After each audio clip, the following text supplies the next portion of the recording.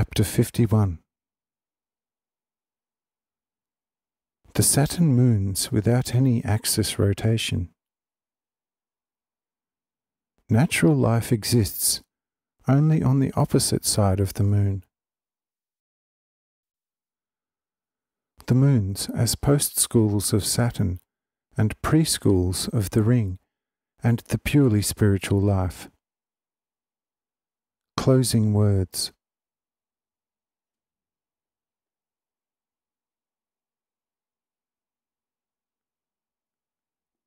Regarding the moons, they have the same relationship to their planet as does our moon to the Earth.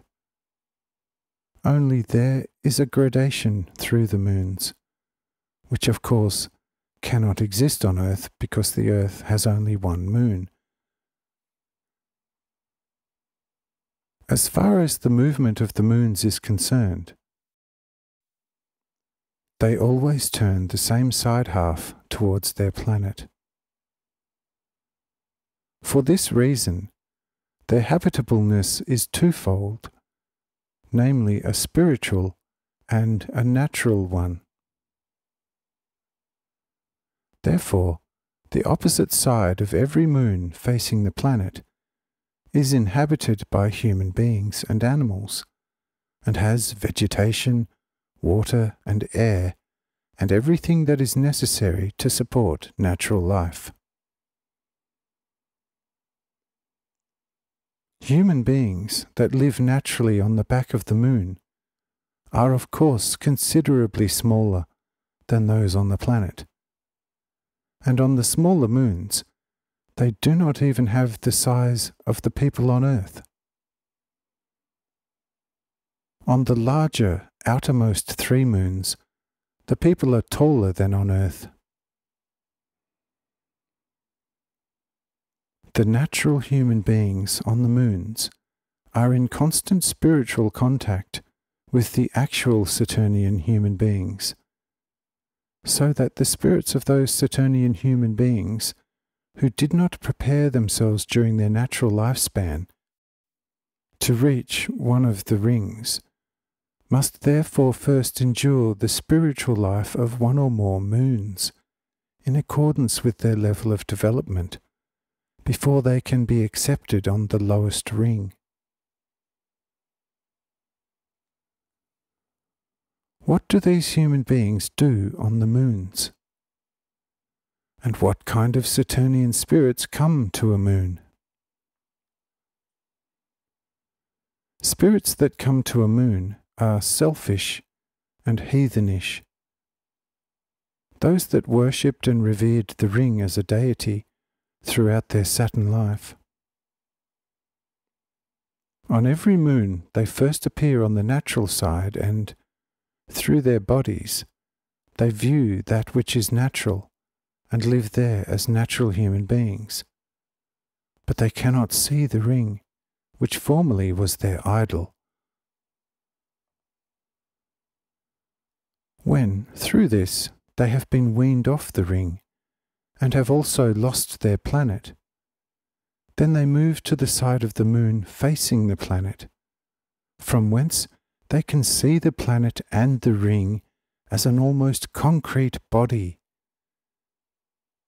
Through this, it becomes gradually clear to them, while they are being instructed by other higher spirits that come to them that the ring is not at all some kind of deity or the residence of a deity, nor is it the pathway upon which the Great Spirit walks above the heavens.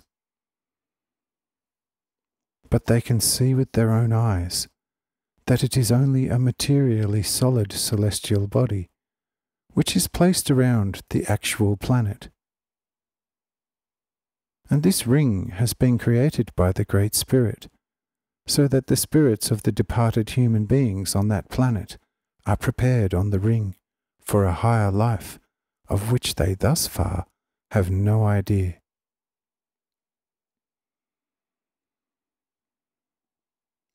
When these spirits have learned this, through teachings as well as through their own intuition, they soon completely abandon their false beliefs and make inquiries as to the abode of the Great Spirit.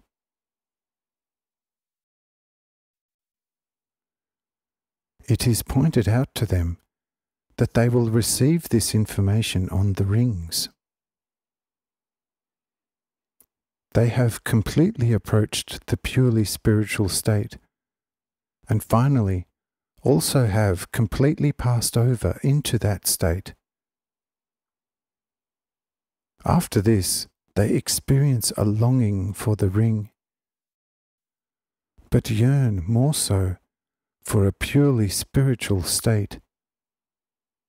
When that happens, they are immediately transferred to the ring.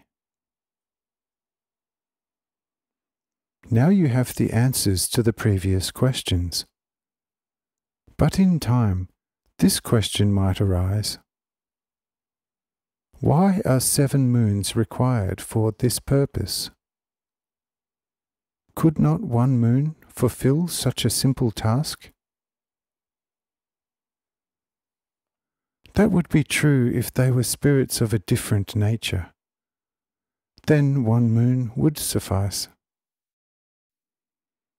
However, the Saturnian spirits have their seat under one knee in the great man of creation, or the great cosmic man.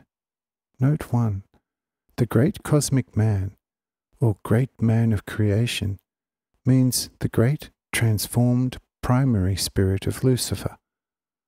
For further details, see Robert Blum from Hell to Heaven and The Fundamental Principles of Life by Jakob Lorber.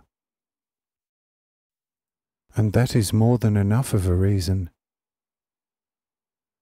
Because the legs are the outermost foundation of life, and on the leg itself, again, the joints. If, for example, the body sustains an injury to an arm or to the skin or anywhere on the body, the body can still stand upright and move around to look for help.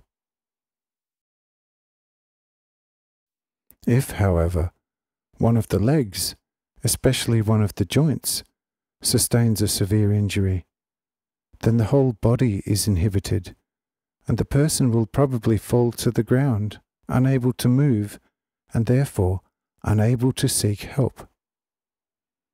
And that is the reason why the legs of every human being are built stronger than all the other parts of the body. The inhabitants of Saturn represent the most important part of the leg under the knee of the great man in creation, also called the great cosmic man. And you have already heard of this great spirit being on other occasions. For this reason, great attention must be paid regarding the spirits of the Saturnian human beings, and that applies to every single spirit as to which one of the seven primary spirits, note 2, the seven primary spirits of God are 1. Love, 2. Wisdom. 3. The effective will of God. 4. The order. 5. Divine seriousness. 6. Patience. And 7. Mercy. Each of these spirits originates from the previous one. For more information, refer to the Great Gospel of John and the Fundamental Principles of Life by Jakob Lorber out of which every spirit consists, is in the most dangerous position. And this is the purpose for the existence of the seven moons, so that in one or the other moon, one or the other of the seven primary spirits can be calmed down and brought in to the appropriate order with the remaining six primary spirits. From this explanation, you will be able to gather why this planet was assigned seven moons. Now you know everything there is to know regarding these moons. Their distances from the planet and their size was mentioned at the beginning of this book. Therefore, this concludes the descriptions of the moons. Since we have learned about the planet, the ring as well as the moons, we shall conclude this work.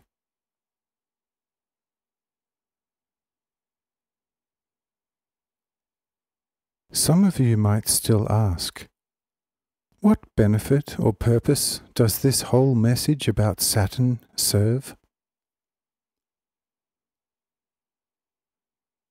I will answer as follows.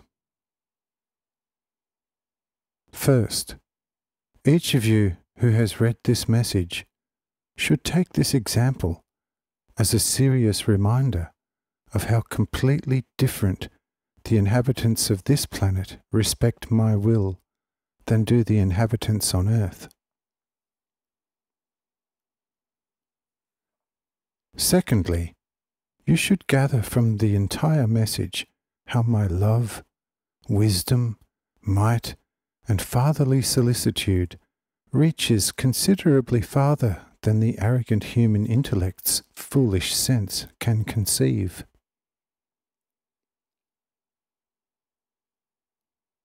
Thirdly, this observation should guide people on earth to the deepest humility, from which a human being should see who he is and who I am, their God, Creator, and Father. He should look into his heart and contemplate on the greatest blessing and compassion that has been bestowed upon him, and that I, the only Lord and Creator of these miraculous works, consented to choose the earth, this dirty little planet, as the birthplace of my infinite love, compassion, and mercy, and consequently all the fullness of my divine being. For this reason, I will allow you to inspect the sun. Note 1. Book the natural sun, as well as a few other planets. It will not be described in so much detail. Although brief, it will be sufficient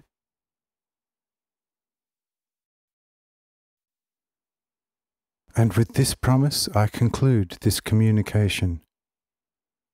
My blessings, my love, mercy, and compassion be with this promise.